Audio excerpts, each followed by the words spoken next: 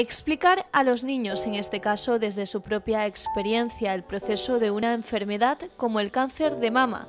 Es el objetivo principal de este proyecto que tiene forma de cuento y se titula Mi mamá no tiene pelo. Dirigido va en general, enfocado va para nenes de 3 a 7 años, la lectura, la asimilación de una enfermedad en casa, como es el cáncer, adaptable a cualquier enfermedad o a cualquier circunstancia, pero en realidad también va para mayores porque los mayores también necesitamos aceptar y asimilar muchas cosas que nos depara la vida y no solamente son enfermedades. Puede ser divorcio, una mudanza, una pérdida de trabajo, una depresión. Necesitamos aceptación. Entonces, en estas páginas refleja las fases y las etapas que necesitamos atravesar para llegar a esa necesaria adaptación y seguir con la vida. Aunque sea diferente, pero seguir con la vida.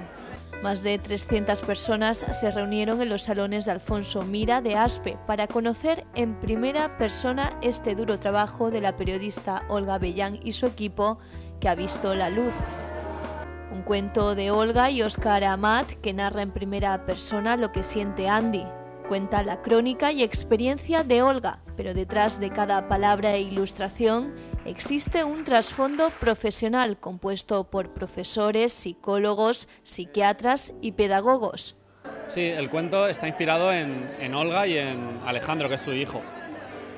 Entonces se basa sobre todo en experiencias propias, em, parte de una familia normal, que todo va bien y llega un momento en el que pasa algo, que a la madre le detectan cáncer a partir de ahí se plantea en el cuento cómo afecta esto al niño y cómo el niño puede ayudar a la madre. Una emotiva historia en la que el texto se combina a la perfección con las bellas acuarelas que lo adornan. En este caso ha sido la ausencia del color como una metáfora de la ausencia de, la madre. Lo mismo, hablar sin palabras, hablar con, con un lenguaje plástico.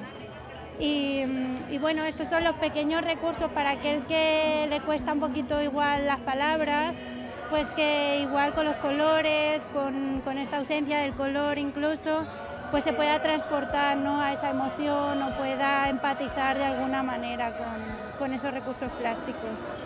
Con la vida de mi mamá no tiene pelo, se crea también una herramienta para saber cómo afrontar una situación como esta y aprender a gestionar las emociones.